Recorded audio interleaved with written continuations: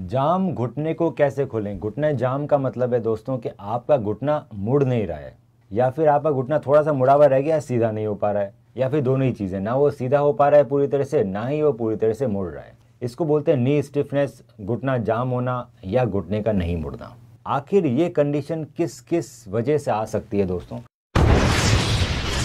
तो ये कंडीशन कई बार घुटने में चोट की वजह से आती है कि आपको चोट लग गई, आपने बहुत लंबा रेस्ट ले लिया और अब वो घुटना मुड़ना बंद हो गया, जाम हो गया। कई बार घुटने के ऑपरेशन के बाद ये कंडीशन आ जाती है। घुटने में हड्डी टूट गई, आपको प्लेट लगा हुए वायर लगे हुए हैं, उस वजह से बहुत लंबे समय तक प्लास्टर रह गया। जब प्लास्टर हटा तो घुटना जाम मिला। आपने बहुत कोशिश की फिजियोथेरेपी से, उसके बाद भी नहीं मोड़ पाए, क्योंकि वो घुटना जाम हो गया। लिगामेंट सर्जरी में अगर बहुत लंबे समय तक हम अपने घुटने को नहीं मोड़ें तो भी घुटना जाम हो जाता है। कई बार नी के इन्फेक्शन में घुटना जाम हो जाता है। तो बहुत सारे कंडीशन हैं, जिस कंडीशन में आपका घुटना जाम हो सकता है। आप इनिशियली जाम को हटाने के लिए एक्सरसाइजेस करनी पड़ती है। Knee range of motion exercises अगर आप रेगुलरली करेंगे तो हो सकता है आपका घुटना जाम है, वो खुल जाए। पर दोस्तों, बहुत सारे लोगों में वो घुटना कभी नहीं खुलता है, बहुत सारी एक्सरसाइजेस करने के बाद भी। क्यों नहीं खुल पाता है? पहला रीज़न कई बार जो घुटने का कैप्सूल इतना टाइट हो जाता है कि आप फिजिकली एक्सरसाइज खुद करने से आप वो कैप्सूल लूज नहीं कर पाते। कई बार नी के अंदर काफ़ी फाइब्रोसिस आता है, जिसकी वजह से घुटना बेंड होना हो जाता है।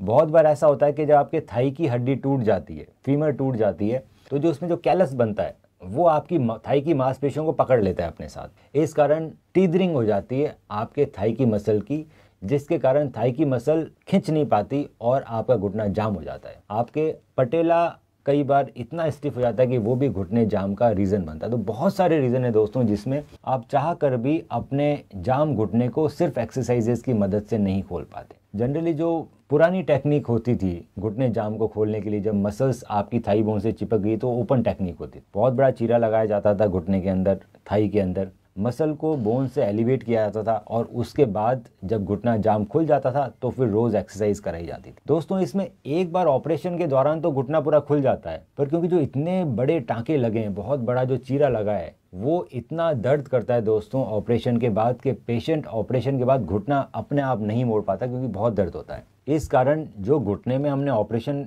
करके जो आपका जाम खोला था, वो वापस जाम हो जाता है कुछ दिनों में, क्योंकि आप एक्सरसाइजेस कर ही नहीं पाए।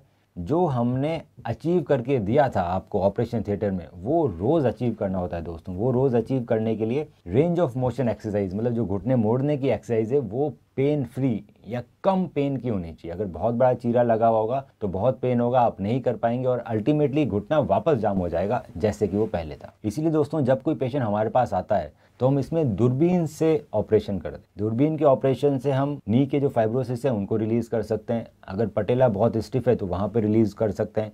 साथ में अगर क्वाड्रिसेप्स मसल आपके थाई बोन फीमर पे चिपक गई है तो आर्थ्रोस्कोपी मतलब छोटे छोटे छेद से क्वाड्रिसेप प्लास्टी मतलब क्वाड्रिसेप्स को उठाया भी जा सकता है। इस टेक्निक में दोस्तों कोई बड़ा चीरा नहीं लगता, कोई ब्लड लॉस नहीं होता और आपका घुटना पूरा खोल दिया जाता है, जैसे कि वो इंजरी या जाम होने से पहले था। ऑपरेशन के बाद लगातार एक्सरसाइजेस करनी पड़ती है ताकि जो हमने बेंडिंग अचीव की है, वो आप लगातार बेंडिंग अचीव करते रहें रोज़ ताकि वापस जाम नहीं हो। क्योंकि ये सर्जरी दूरबीन से हुई है, इसमें दर्द बहुत कम होता है तो पेशेंट आराम से बैंड कर पाता है और जो उसका रिज़ल्ट है, वो परमानेंट हो जाता है। दोस्तों, वो दोबारा ख़राब नहीं होता क्योंकि पेन ही नहीं होता है सर्जरी के बाद, जब आप दोबारा अपना घुटना मोड़ते हैं। तो दोस्तों, अगर आपको लगता है कि आपका घुटना जाम हो गया है तो आप निसंकोच हमें कॉन्टैक्ट कर सकते हैं।